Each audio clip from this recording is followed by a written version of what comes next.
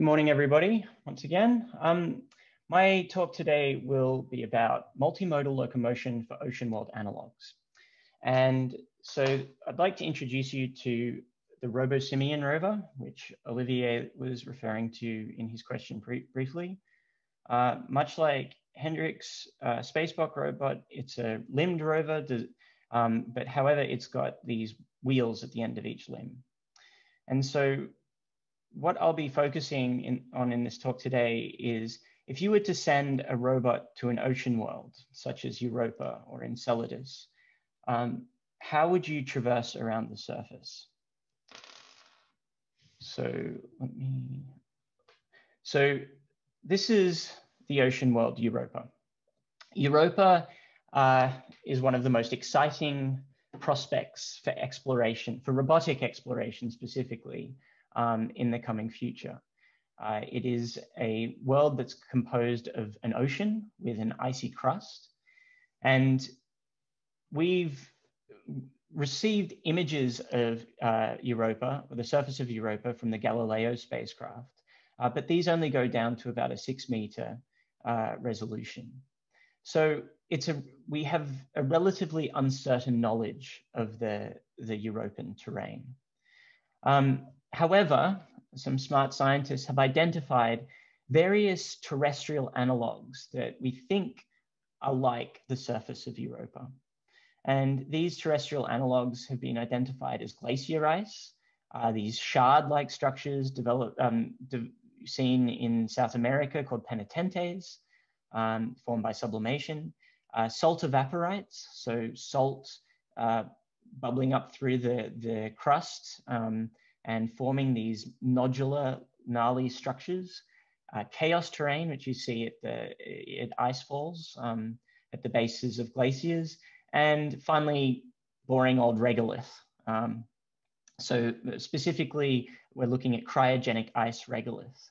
Um, so when we consider the Europa exploration problem, uh, NASA JPL is sending the Europa Clipper mission to, to uh, get a better knowledge of the European surface and also determine what the characteristics of the subsurface ocean are. Um, and then following on from Clipper, we might have this mission called Europa Lander, which will look for direct signs of life on the European surface. Now, uh, this would be a, quite a quite a transformative mission However, it will be delivered by what's called the Sky Crane, um, which what is what delivered Curiosity to the surface of Mars and what will be delivering Perseverance to the surface of Mars in February. Um, however, this, this may contaminate the region around the, the landing region. So hypothetically, we could have uh, further on from Europa Lander, we could have this Europa Mobile Surface Explorer, which is very much a hypothetical agent. Um, but we, we've been studying mobility on these Europa analog surfaces um, to get a, better idea of what's possible and um, what mobility uh, strategies we need to navigate uh, these Europan analogs. So the first analog that we, we've been testing our robot on is, at De the Devil's Golf Course in Death Valley. And um, this analog was selected because of these really uh, crazy salt evaporite structures. Here you can see um, the, our team member Gareth uh, standing in the middle of these salt evaporite, this salt evaporite field. Um, so the question was, could we get a robot to traverse terrain like this? Then we also went out to a glacier in Alaska. There's me for scale, um, standing um, at, at a section of the glacier where we tested the robot. And finally, we've been using a sand slope uh, as a regolith simulant um, at, at our JPL Mars yard, which is a, a, anywhere between a 15 and 20 degrees slope on this sand slope. So previous work um, on, on this on problems similar to this, um, and more specifically on wheel on limb mobility have included uh, David Wettergreen's work at CMU with the Scarab rover, um, where they de demonstrated the effectiveness of push rolling or inchworming, uh, the Athlete rover at JPL, Um, our colleagues at DFKI developed the Sherpa TT rover, which you saw briefly yesterday. And my PhD work was focused on this rover called Mammoth, uh, where we demonstrated some autonomous navigation and planning um, with these wheel on limb, uh, versatile wheel on limb platforms. So we've been using this robot called RoboSimian. RoboSimian was developed not for the mobility problem, but it was developed for the DARPA uh, robotics challenge, where it was designed as a search and rescue robot. It had to drive a car, open doors, turn valves, um, and it did quite well in, in this uh, scenario. But since then, we've modified RoboSimian uh, to become a wheel on limb system.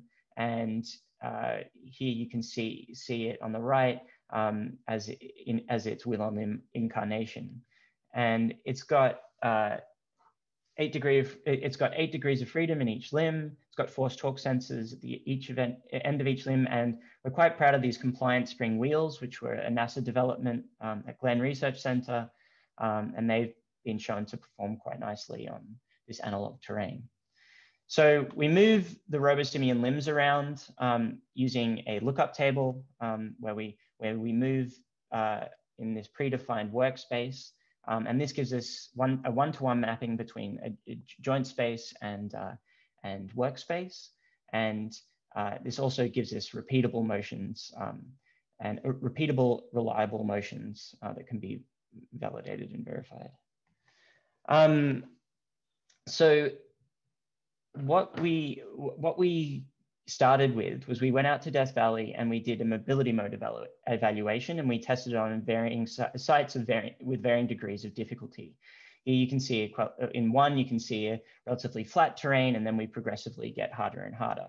And we wanted to see, A, could, could the mobility modes that we designed for RoboSimian, could they traverse this type of terrain? And also, how efficient were they in terms of energy efficiency? And for this trial, we used a metric of centimeters per kilojoule.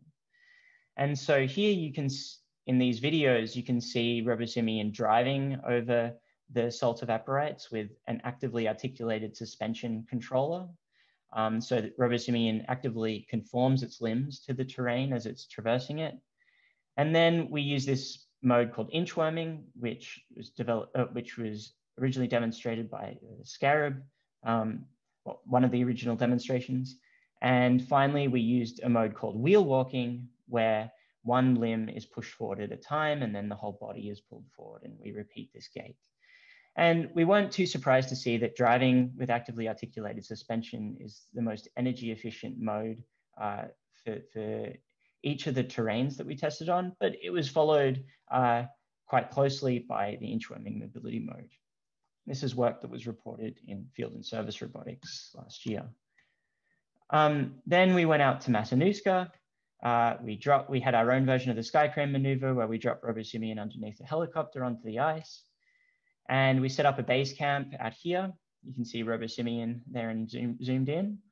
Um, and we chose various sites with varying degrees of incline on this hard packed ice.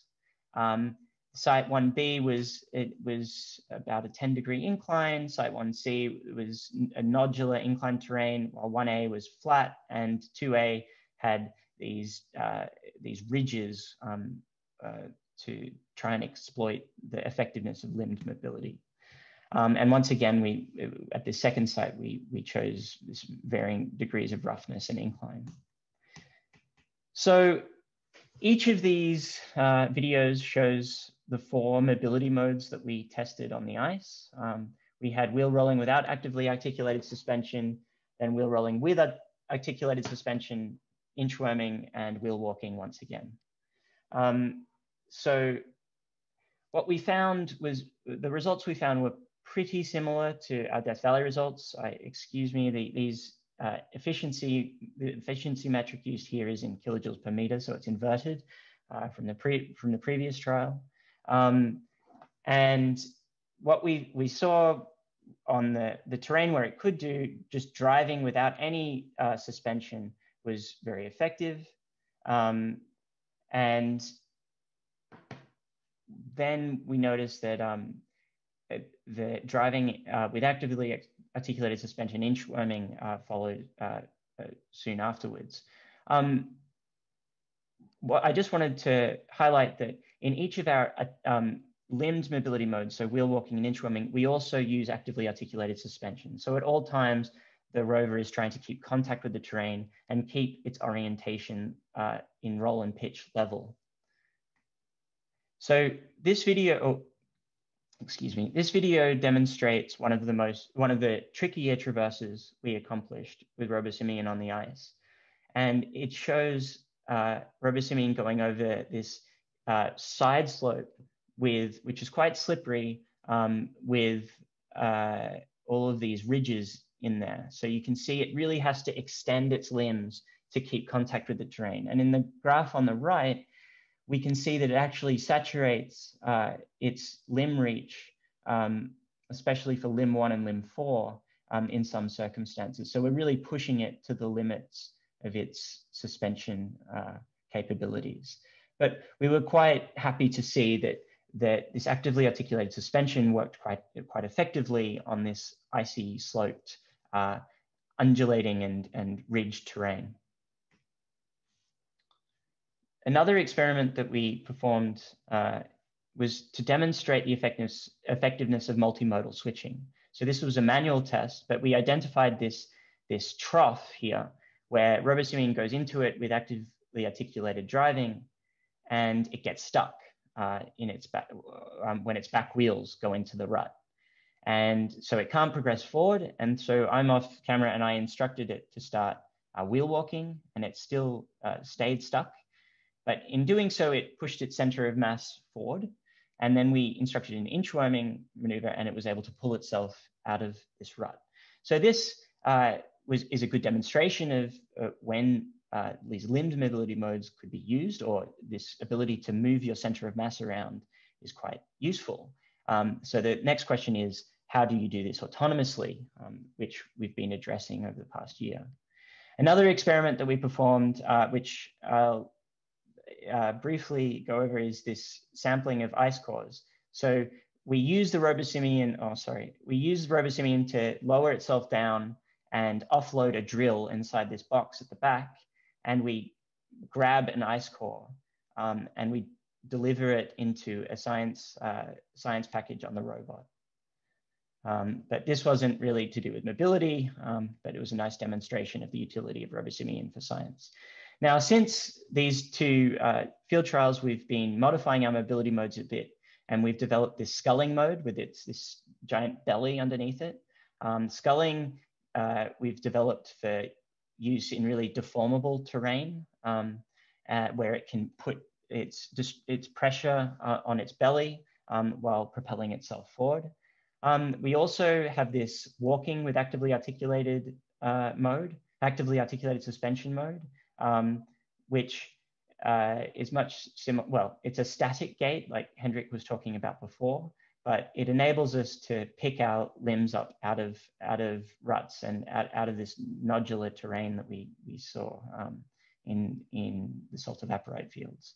And then also we've been looking at using switchback driving for going up deformable terrains slopes, um, which is shown to be relatively effective. Um, oh, sorry, this slide was repeated twice. Um, really, uh, for deformable terrain slopes, uh, we, we found the most effective mode so far has been inchworming. Uh, this, these two videos uh, compare um, inchworming and driving with actively articulated suspension. And you can really see how inchworming is able to really progress up the up the, the slope with li limited slip while while driving um, gets embedded. So the last thing I'd like to talk about today is our most recent field trial out to Death Valley, pre, uh, just before the pandemic hit. And what we, what we, uh, what motivated this field trial was how do we make things autonomous? How do we get a, a robot uh, like RoboSimian to traverse a Europa analog terrain by itself? And we gave it a point cloud, much like Europa Lander would have during its descent. And we ran a sampling-based BitStar algorithm um, over this terrain, uh, which was uh, cognate of, of the capabilities of RoboSimian and here you see RoboSimian following this autonomously selected path um, over this really quite rough, challenging terrain. And once again, uh, here's another example of a terrain site with, with less nodular features, but probably more significant uh, height obstacles. Um, and you can see RoboSimian uh, chooses a path that, especially in this section where it has to traverse this ridge line, it actually turns on the spot to, to get a more favorable traverse angle over, over the ridge. So uh, the results of this trial showed us we, we traversed uh, a total distance of 435 meters uh, autonomously. We did have uh, relatively significant failure rates of 0.64 failures per 10 meters, where we either got stuck in, in the terrain or uh, we, we just overheated, um, or the terrain actually collapsed on us. So this is something that we're focusing on next. How do we address these embedding scenarios, which you see here, where we snag the wheels and snag the structure of the robot on this really gnarly terrain. So lessons learned so far, um, we've got to become more immune to these hub snags. Um, wheel contact angle estimation would, would help a lot, especially when regards to controlling the center of mass of the platform. Um, we tethered the robot for power. We don't have batteries on the robot um, for historical reasons. And um, uh, we really want to, RoboSimian, as Olivier highlighted before, is quite a complicated design in that it has eight degrees of freedom per limb. And we, we know we can get away with say five or four degrees of freedom per limb. And we, we want to, for the next step, we want to design a new system that has a much more simplified kinematics um, and, can, that, and can hopefully be a more reliable system.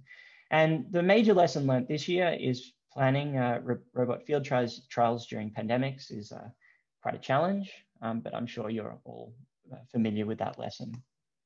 Um, so uh, for the con conclusions so far, um, we, we've demonstrated uh, actively articulated multimodal locomotion on Europa analog terrains, and we've also demonstrated an autonomous capability. Um, uh, which we have a lot of lessons that we've learned that um, we're going to apply to future work. So thank you for your time and um, I'll open it to questions. Yeah, thanks Will for this very exciting talk. Um, we have one question from the chat. Um, so first of all, he wants to congratulate you on the work. Um, it's really amazing to see this robot. And then Cagri Kilic has also a question about the um, how do you measure and estimate wheel slippage on these terrains? Do you have force sensors or do you use visual odometry? Yeah, so that, that's a great question. I I, uh, I didn't have enough time to go into that, but for our autonomous navigation, we've got a LiDAR on the front of RoboSimian, which um, is a Velodyne 16-line uh, uh LiDAR. And we run LiDAR, LiDAR-based SLAM with that system. Um, and also for our for the first set of energy efficiency trials, we actually use VO uh, with stereo cameras on board. So we've got multi multiple sensor modalities on board. Um, and we've also we've also got a GPS for ground truth, a differential GPS for ground truth.